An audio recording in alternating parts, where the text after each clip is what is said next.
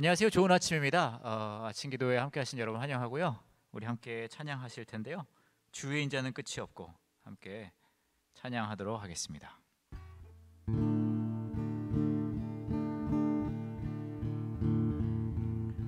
주의 인자는 끝이 없고 그의 자비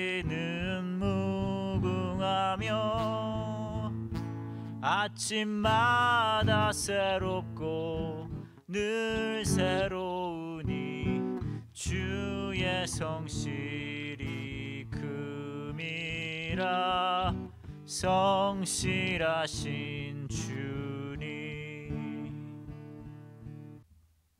오늘 함께 보실 본문 말씀은 어, 이사야서 42장 14절부터 25절입니다. 제가 읽어드릴게요.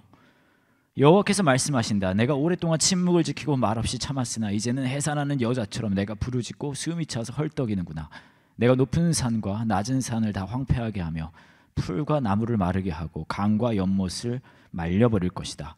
내가 소경을 그들이 알지 못하는 길로 인도하며 그들 앞에서 흑암을 광명으로 바꾸고 거친 길을 평탄하게 할 것이다. 나는 반드시 이 일을 행하고 그들을 버리지 않을 것이다. 그러나 우상을 신뢰하며 그들을 신이라 부르는 자들은 배척과 수치를 당할 것이다. 여호와께서 말씀하신다. 너희 귀머거리들아 들어라. 너희 소경들아 눈을 떠서 보아라. 내 종보다 더 눈먼 자가 누구냐? 내가 보내는 사자보다 더 귀먹은 자가 누구냐? 이스라엘아 너는 많은 것을 보면서도 그것에 관심을 가지지 않으며 들을 귀가 있으면서 아무것도 듣지 않는구나. 여호와께서 자기 의로움을 나타내시려고 기쁨으로 그의 율법을 훌륭하고 존귀하게 하려 하셨으나 이 백성이 약탈을 당하고 다 굴 속에 갇혀 죄수 신세가 되었구나. 그들이 약탈과 강탈을 당해도 와서 그들을 구출해 줄 자가 없다. 너희 중에 누가 이 일에 귀를 기울이겠느냐? 지금부터라도 너희가 관심을 가지고 듣겠느냐? 이스라엘을 약탈할 자에게 넘겨준 자가 누구냐? 바로 여호와가 아니시냐? 우리는 그에게 범죄하였다. 우리는 그의 뜻대로 살지 않았고 그의 법에 순종하지 않았다. 그러므로 여호와께서 우리에게 무서운 분노를 쏟아 경란 전쟁을 겪게 하셨다. 여호와의 분노가 불붙듯이 타도 우리는 그것을 깨닫지 못하고 또 그런 것을 염두에 두지도 않았다.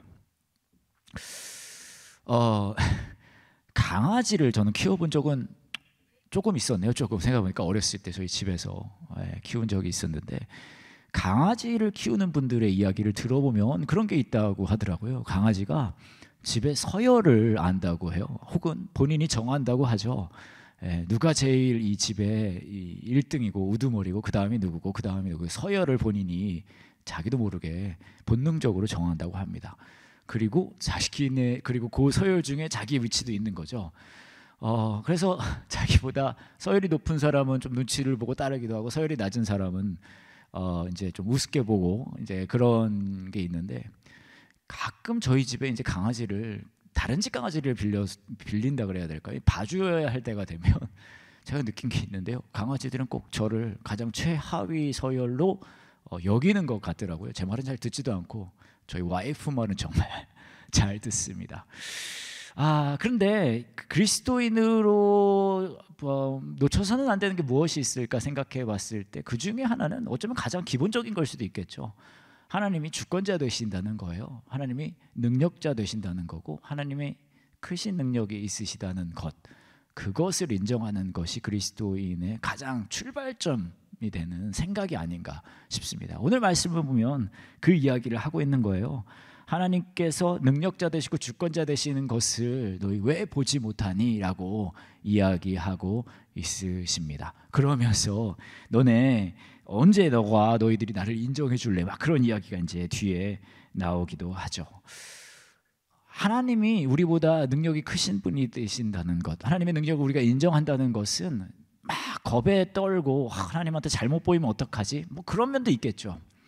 하지만 그것보다는 크신 하나님을 인정할 때 우리 삶에서는 소망이란 게 사실 나올 수 있잖아요. 왜냐하면 나의 능력으로 어떻게 할 수 없는 것이 나의 삶의 어려움이고 또 나의 한계에 있는 한계의 모습인데요.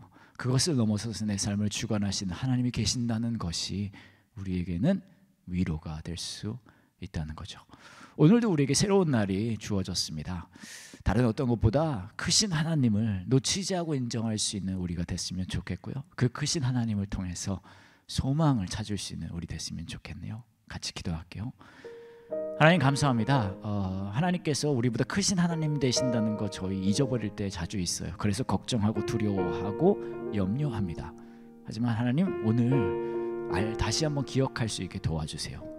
하나님은 우리의 생각과 계획과 우리의 능력보다 훨씬 크신 분이시라는 것 그리고 그것이 우리에게 소망이 되기를 원합니다. 생각해 보면 기도라는 과정도 마찬가지인 것 같거든요. 내가 자금을 인정하고 하나님의 크심을 인정하는 과정, 그 하나님께 온전히 맡기는 그 과정, 그것이 기도겠잖아요.